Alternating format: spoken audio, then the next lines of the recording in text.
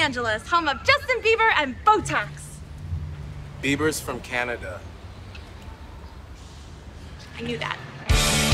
Amanda Jenkins is a unique girl. Hey, I'm back. We're hotter than 98 degrees. She's a little delusional. I am fantastic at sports. Maybe fantastic wasn't the right word to use. But just trying to find her place in the world, which is a bit ugly. Date sometime? No, But, no.